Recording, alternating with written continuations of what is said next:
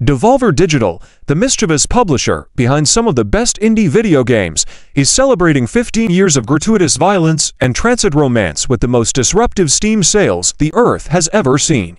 From May 16th to May 23rd, players from all walks of life can enjoy generous discounts on the Devolver catalog. Yes, even on those titles you promised to keep at a safe distance from your loved ones.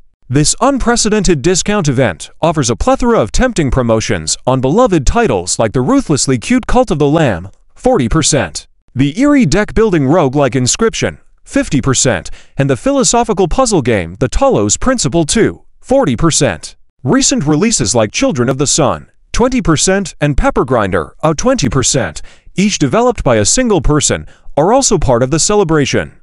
Avid gamers can also fill their baskets with classics from the cheeky publisher, such as GRIS and Ape Out, 80%, Return to Monkey Island and Wizard with a Gun, 50%, Sludge Life 2 a 40%, and Disc Room, 75%. Plus, Wizard with a Gun will be playable for free on Steam during the sale. To mark the anniversary, a series of groundbreaking blog posts will adorn the official Devolver website, offering a commemorative journey filled with pats on the back.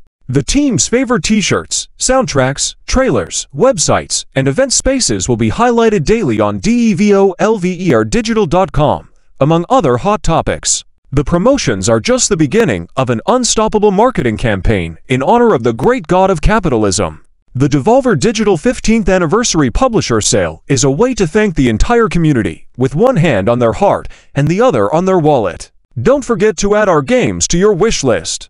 It's going to be a blast.